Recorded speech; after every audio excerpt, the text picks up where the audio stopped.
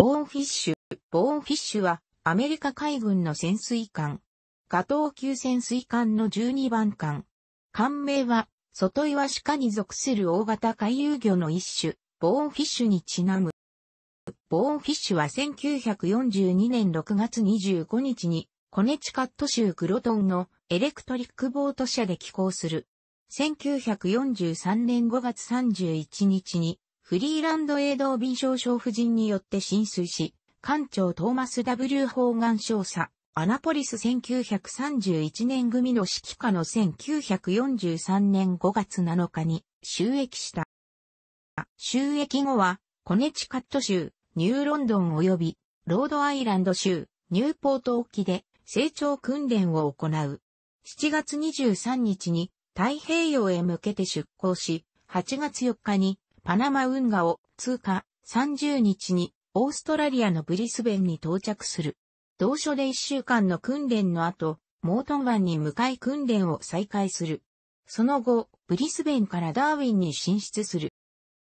9月16日、ボーンフィッシュは最初の紹介でビルフィッシュ及びボーフィンとウルフパックを構成し南シナ海に向かった。9月22日にバラバク海峡を通過し、南シナ海に入った。3日後の9月25日朝、ボーンフィッシュは2列渋滞の輸送船5隻と1隻の護衛艦を排する輸送船団を発見する。この輸送船団、左12船団には、ボーフィンとビルフィッシュも取り付いており、午後に入ってからの攻撃で、ボーフィンは特設運送船、給油、応急タンカー、霧島丸、国際汽船、8267トンを撃沈し、その後もビルフィッシュと共に追撃を続けていた。ボーンフィッシュは夜に入ってから爆雷攻撃による制圧で新進度線港に移る前にの地点で特務艦足釣りに対して魚雷を本発射し3つの爆発を確認するが実際には被害はなくビルフィッシュもタンカー精神丸日本輸送船5239トンに対して魚雷を5本発射して1本の命中を報告したが実際には命中していなかった。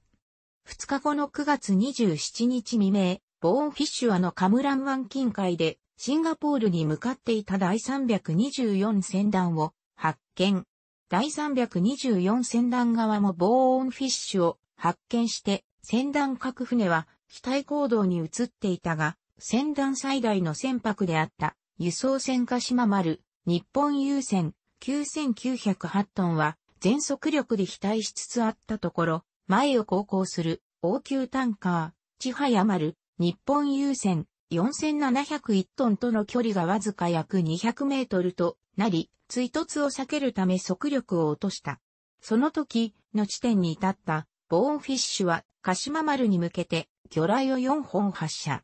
魚雷は2本が鹿島丸の4番戦争と5番戦争に命中し、鹿島丸は15分程度で沈没した。戦乱中にあった輸送船、第一江南丸、日本海洋漁業455トンは、栄光していた特殊輸送船を放り出して、救助作業を行いつつ、ボーンフィッシュに迫ったが、ボーンフィッシュは逃げることができた。10月6日朝にはの地点で3つ目の輸送船団を発見して、魚雷を6本発射し、2隻の大型輸送船に魚雷を命中させたようだと判断された。しかし、この時も実際には第431船団に加入して、サンジャックから高尾に向かう途中の輸送船津島丸、日本優船6754トンに魚雷が向かっていったものの、6本のうちの3本が津島丸の船底を通過していっただけだった。10月7日夜に、モノ地点で輸送船竹高丸に対して、魚雷を6本発射したが、命中しなかった。10月10日、午前、ボーンフィッシュアのカムラン湾北東約110キロの海域で高尾に向かっていた第432船団を発見する。ボーンフィッシュは後方から第432船団に迫り、に至ったところで、距離2400メートルから魚雷を4本を発射。うち2本が輸送船伊豆川丸、東洋海運4214トンに命中して撃沈し、伊豆川丸日雷を見て40度に回答して、魚雷を避けようとして輸送船艇尾丸、帝国船舶、元フランス船ベルナルダンセイウツ、ピエール、大阪商船一択、1万85トンにも2本、命中。内左舷後部に命中した1本は不発だったが、船尾に命中した魚雷による被害が甚だしく15時21分に沈没した。10月14日夕刻には、の地点で日本マストの10トン級スクーナーを発見し、2機の20ミリ機銃の走者で撃沈した。10月21日、ボーンフィッシュは45日間の行動を終えて、フリーマントルに帰投した。11月22日、ボーンフィッシュは2回目の紹介で、セレベス海方面に向かった。11月28日に、ロンボク海峡を抜けフローレス海に入る。その翌日である11月29日朝、ボーンフィッシュはの地点で2隻の輸送船団を発見。2隻のうち1隻は、野島型級単艦と推定された。ボーンフィッシュは先行し、の地点に至ったところで魚雷を4本発射。魚雷は2本が、輸送船製図、丸、栗林商船、4645トンに命中し、スエズ丸は、後部から急速に沈没していった。護衛艦が向かってきたものの、ボーンフィッシュはうまく巻いて逃げた。しかし、ここで悪い話があった。当時スエズ丸は546名のイギリス軍捕虜を乗せていた。によれば、捕虜のほとんどは海中に放り出された挙句、日本人遭難者を救助した護衛の第12号総海底に機銃操作され、少なくとも250名の捕虜が死んだ。12月1日未明、ボーンフィッシュアのセリベス島、トリトリ北方海域で、バリクパパンからパラオに向かう第2612戦団を発見。追跡の後攻撃位置についた、ボーンフィッシュは22時過ぎにの地点で、艦首発射管から魚雷を6本、直ちに反転して、艦尾発射管から魚雷を4本発射した。魚雷は輸送船費、両岸、三菱汽船、2721トンに1本が命中し、肥料丸は沈没した。ボーンフィッシュは追撃を行い、12月2日明け方に2度目の攻撃で魚雷を4本発射して1つの爆発を確認した。12月4日から6日までは、三田間沖で先行紹介を実施し、ついで、タラカン沖でも先行紹介を実施した。12月11日午前、ボーンフィッシュアの沖で小型輸送船を発見し、浮上砲戦を挑む。しかし、発射した4インチ砲弾57発のうち7発を命中させたものの、相手は逃げ去ってしまった。12月12日午前に、モノ地点で3000トン級輸送船を発見し、魚雷を2度にわたり3本ずつ、計6本発射したが、成功しなかった。12月19日、ボーンフィッシュは27日間の行動を終えて、フリーマントルに帰島。改装と訓練を実施した。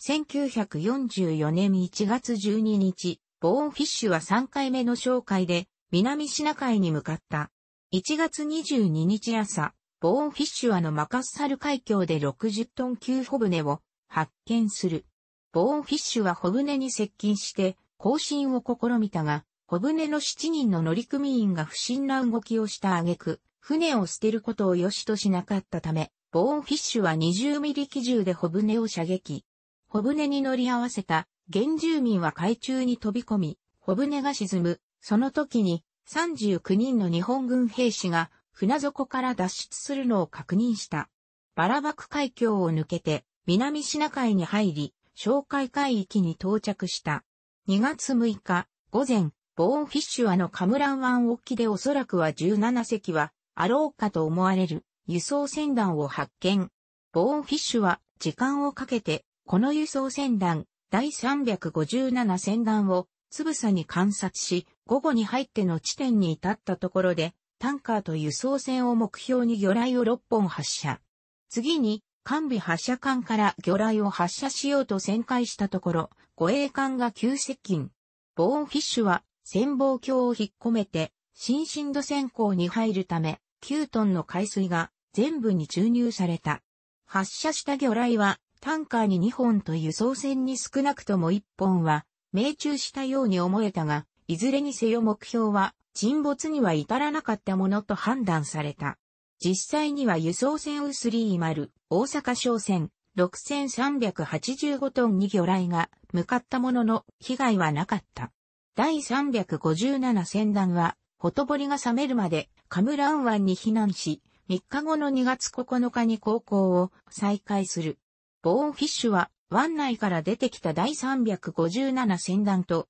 再び接触し、の地点で海軍徴用タンカー第2と南丸、日本海洋漁業19,262トンに向けて魚雷を5本発射。攻撃直後、ボーンフィッシュは護衛艦と航空機の制圧を受け、海底で反撃が止むのをひたすら待ったため戦果を確認できず、夕方になって浮上したが、その頃には第357戦団の姿はなかった。日本側では第2都南丸に魚雷が命中して消破したと記録された。ボーンフィッシュはその後1ヶ月近く紹介を行って目標を探し続ける一方、2月16日未明にはパダラン岬沖に浮上し、東大に対して艦砲射撃を行った。3月15日、ボーンフィッシュは60日間の行動を終えて、フリーマントルに帰投した。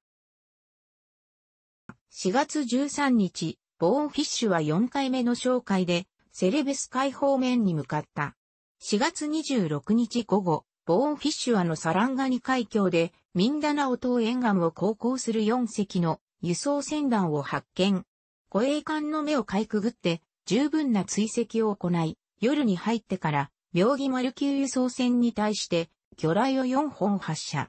うち2本の魚雷が妙義丸級輸送船の中部と後部に命中して目標は沈没した。翌4月27日朝にも4500トン級輸送船を発見し、魚雷を4本発射して少なくとも3つの命中を得たと考えられたが、目標は沈まなかった。5月4日朝、ボーンフィッシュアのスールー海入り口で輸送船団を発見し接近したが、上空に紹介の錦水上戦闘機がいたので先行。錦水上戦闘機は、ボーンフィッシュに対して対戦爆弾2発を投下し、この攻撃でボーンフィッシュは消破した。ボーンフィッシュは修理をするため浮上したが、2隻の艦船が向かってきたので再び先行し、爆雷攻撃に備えた。2隻は爆雷を25発投下した後遠くに去っていった。一連の反撃が止むと、ボーンフィッシュはバシラン海峡の北で紹介を続けた。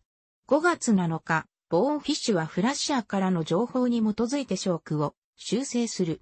間もなく陸岸沿いを航行する輸送船団を発見し、護衛艦の動きに注意しながら追跡を行い、夕刻2の地点で輸送船に向けて魚雷を4本発射して3つの命中音を聴取したが、護衛艦が反転してきたので、最終的な結果を確認することはできなかったが、撃沈と推定された。5月9日、未明、ボーンフィッシュは30トン級、セールボートを発見し、ピジン英語を話す原住民と会話した。原住民のことから、ボートはカガヤンからパラワン島、タイタイに向か、おり、途中パナイ島で米を積んでいたもので、クルーの中には二人の元フィリピン軍兵士がいること、日本の輸送船が地域の水路を使用していること、プエルト・プリンセサに500名、コロン島に300名、タイタイに40名の日本軍がいることなどが分かった。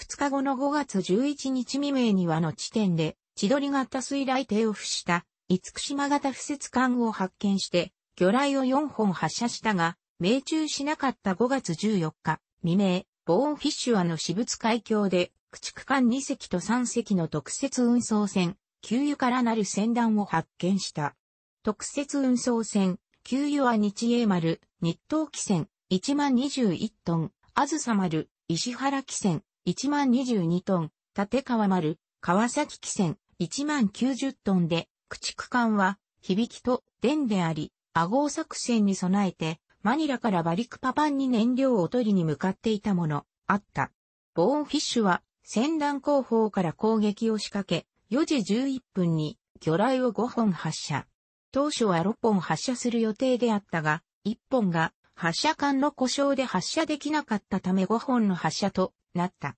目標はタンカーだったが、魚雷はタンカーとは別の目標、すなわち電の後部と中央部に命中。電は煙と炎に覆われ、船体を V 字型によって沈没した。響きが反撃に出たが、ボーンフィッシュは新進度先行で反撃から逃れた。ボーンフィッシュは電を撃沈したとは思わず、当時はタンカーを撃沈したと報告した。電を撃沈したと分かったのは戦後のことであっ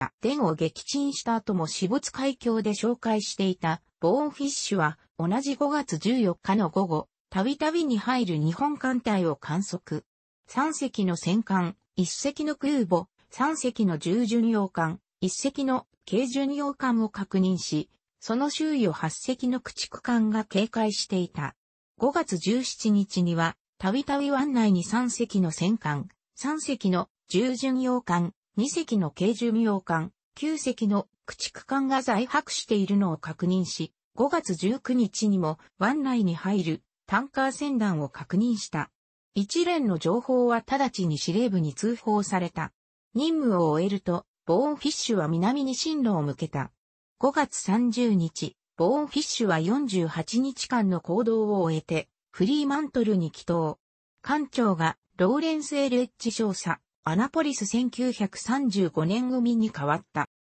6月25日、ボーンフィッシュは5回目の紹介でフィリピン方面に向かった。7月5日午後、ボーンフィッシュはの地点で100トン級木造スクーナーを発見し、浮上砲戦で撃沈。2日後の7月7日に、モノ、タラカン沖で200トン級木造スクーナーを同じく浮上砲戦で撃沈。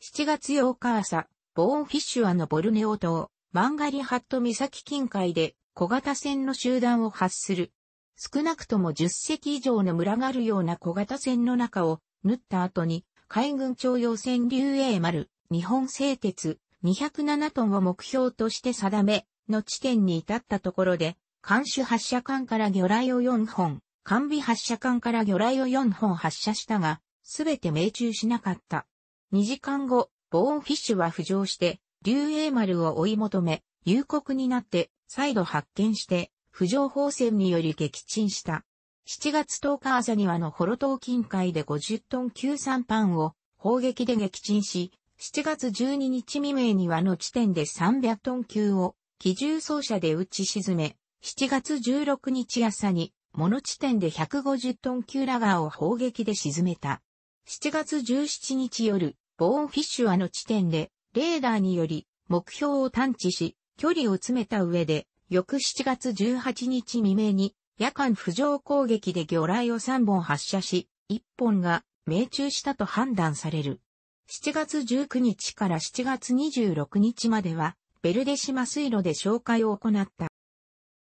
7月29日午前、ボーンフィッシュはトゥバタハ岩礁近海で2隻の駆逐艦あるいは解剖艦に守られた特設運送船、給油、国用丸、国用、汽船、1万26トンを発見し、近在にいたカブリラとの連携を期待して追跡を行った。日付が7月30日に変わって後、ボーンフィッシュアの地点で魚雷を5本発射し、4つの美しい命中を確認して、国用丸を撃沈した。ボーンフィッシュは、死没海峡とたびたびの北方、ミンダナオ島方面で紹介を続け、8月2日午後にはの地点で4隻の輸送船団を発見し、タンカーに向けて魚雷を3本発射して1本の命中と判定される。ボーンフィッシュは引き続きこの船団に接触し、翌8月3日明け方2の地点で再びタンカーに対して魚雷を4本発射して1本命中させた、判断された。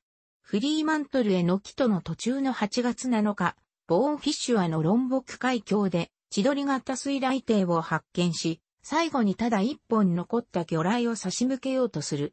しかし、異常が発生して発射できず、ボーンフィッシュは千鳥型水雷艇に探知されないようにその場を立ち去った。8月13日、ボーンフィッシュは49日間の行動を終えて、フリーマントルに来、弾薬を補給し乗組員をリフレッシュさせた。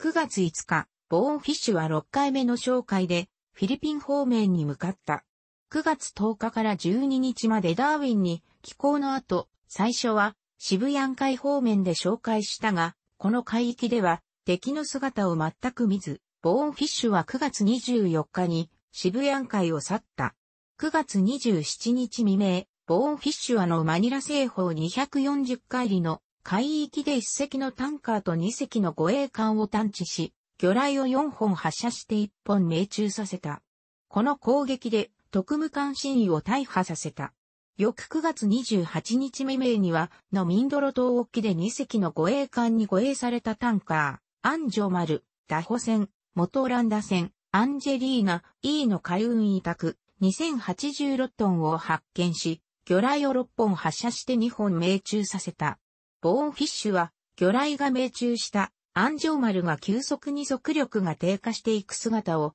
観測し続け、戦後の日本の記録では、アンジョーマルはこのまま沈没したと結論付けられた。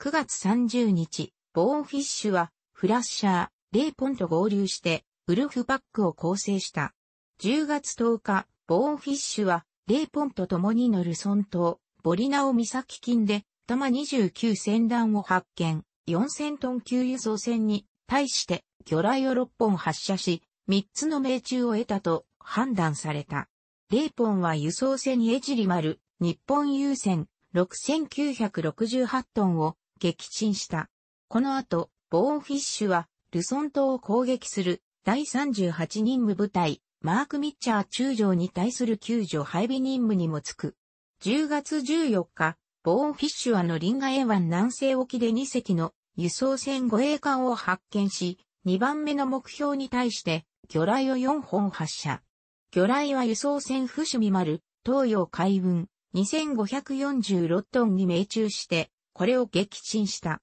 10月19日未明には空母バンカーヒル所属の2名のパイロットを救助した。その夜、ボーンフィッシュは哨戒海域を去り、10月27日にサイパン島に入港して燃料を補給した。11月8日、ボーンフィッシュは62日間の行動を終えて、真珠湾に帰島。サンフランシスコに開港され、11月18日から1945年2月13日まで、ベスレヘムスチールでオーバーホールに入った。終了後、モントレーで訓練を行い、3月20日に真珠湾に戻った後、時期紹介のためグアムアプラ港に開港された。4月6日、ボーンフィッシュは7回目の紹介で、東、シナ海に向かった。しかし、この紹介では、わずかな接触しかなかった。そのほとんどは、対戦艦艇であり、4月13日夜にはの地点で、そのうちの一隻を撃沈しようと接近し、魚雷を3本発射したものの命中せず、目標は大急ぎで去っていった。4月16日には、朝鮮半島南方で2人の日本人パイロットを救助。4月21日から22日にかけては、対馬海峡の内からに至る海域における機雷の不設状況を調査した。5月7日、ボーンフィッシュは31日間の行動を終えて、グアムアプラ港に帰島した。5月28日、ボーンフィッシュは8回目の紹介で、バーニー作戦に参加して、日本海に向かった。このバーニー作戦は、この時点の日本に残されたほぼ唯一の重要航路に打撃を与えるものであり、対馬海峡の機雷源突破と日本海を悠然と航行する日本船は目標の減少に嘆いていた潜水艦部隊にとっては絶好のスリルであり獲物であった。この作戦には9隻の潜水艦が投入され、ヘルキャッツヘルキャッツと命名された。各潜水艦は3群に分けられ、シードッグ艦長の RT ハイデマン少佐、アナポリス1932年組が総司令となった。ボーンフィッシュは、タニー、スケートと共にウルフパック、ピアースズポールキャッツ Pierce's Polecats を組み、第一陣、ハイデマンズヘップキャッツハイトマン、S、ヘップキャッツが5月27日に出撃してから24時間後に出港し、対馬海峡に進出した。